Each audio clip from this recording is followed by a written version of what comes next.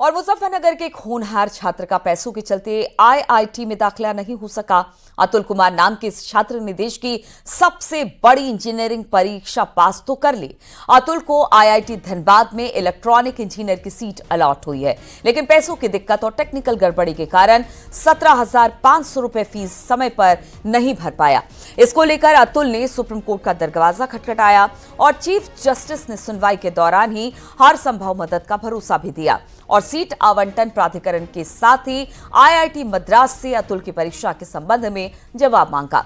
सोमवार 30 सितंबर को मामले की अगली सुनवाई होगी। आपको बता दें कि अतुल एक गरीब परिवार से ताल्लुक रखते हैं। पिता राजेंद्र एक फैक्ट्री में मजदूरी करते हैं, जहाँ पर एक ओर कोर्ट की ओर से सबकी निकाय तो दूसरी ओर अतुल के लिए दुआएँ भी लगातार मांगी जा रही है। वो हम जब काउंसलिंग ख़त्म हुई तो आईआईटी धनबाद में इलेक्ट्रिकल अलर्ट हुआ फ़र्स्ट राउंड में। तो उसमें 24 जून को पाँच बजे से पहले पहले फ़ीस पे करनी थी सीट एक्सेप्टेंस फ़ीस जो सत्रह हज़ार पाँच सौ रुपये थी तो उसमें वो पे कर नहीं पाए क्योंकि चार पैंतालीस तक हम फ़ीस का इंतज़ाम कर पाए थे। मैं तो जंगल मार का ही करती हूँ डंगरा ढोरा का। अच्छा। और ये सिलाई का काम करा जी। आपके और बेटे भी पढ़ रहे हैं। हाँ जी अभी तो उधार ले ले गए जगह बेच बेच के। मामला जो है हाई कोर्ट के बाद सुप्रीम कोर्ट में सुप्रीम सुप्रीम कोर्ट तक पहुँच गया तो संघर्ष कर रहा है लगातार। हाँ जी, क्या हाँ। कहेंगे? आप जैसे प्रथम दृष्टि तो पहली टीचर आप ही रही। हाँ नहीं, वो तो बहुत अच्छा स्टूडेंट है और मैं तो भाई ये ही वो करता हूँ कि उसका उसमें सिलेक्शन हो जाना चाहिए फ़ीस वास्तव में उसकी स्थिति वो गरीब है तो उसका जो है नहीं कर पाया फ़ीस तो उसको कुछ वो मिलना चाहिए। खाने पीने की चीज़ों में थूक, यूरिन की मिलावट की खबरों के बीच उत्तर प्रदेश सरकार के आदेश पर बीएसपी सुप्रीमो मायावती ने निशाना साधा। मायावती ने सोशल मीडिया एक्स पर पोस्ट करते हुए लिखा कि उत्तर प्रदेश सरकार ने होटल, रेस्तरा, ढाबों आदि मालिक, मैनेजर का नाम, पता के साथ साथ कैमरा लगाने का आदेश दिया। ये सब खाद्य सुरक्षा के लिए कम जनता का ध्यान बांटने की चुनावी राजनीति ज़्यादा है। इसको लेकर पहले से ही काफ़ी सख्त कानून मौजूद है। फिर भी सरकारी लापरवाही से मिलावट का बाज़ार हर तरफ़ गर्म है। किंतु अब दुकानों पर लोगों के नाम ज़बरदस्ती लिखवाना, लिखवा देने आदि से क्या मिलावट का काला धंधा खत्म हो जाएगा? तो एक्स पर ये सारी बातें मायावती ने लिखी है।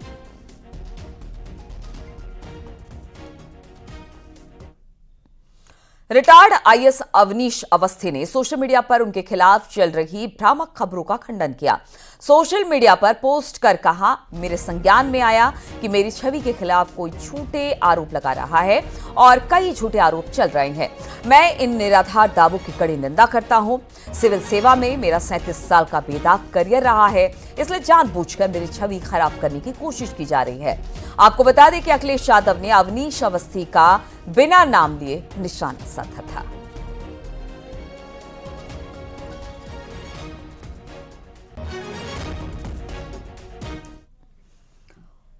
और अब आपको दिखाते हैं कि अखिलेश यादव ने बिना नाम लिए अवनीश अवस्थी के लिए क्या कुछ लिखा था। दरअसल, अखिलेश यादव ने एक्स पर एक पोस्ट शेयर किया।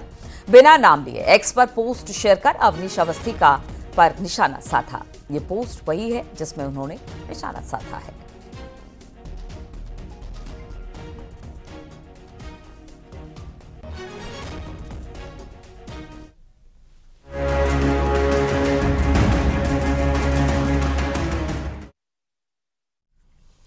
और आमतौर पर बुखार में खाई जाने वाली पैरासिटामोल टैबलेट क्वालिटी टेस्ट में फेल हो गई है।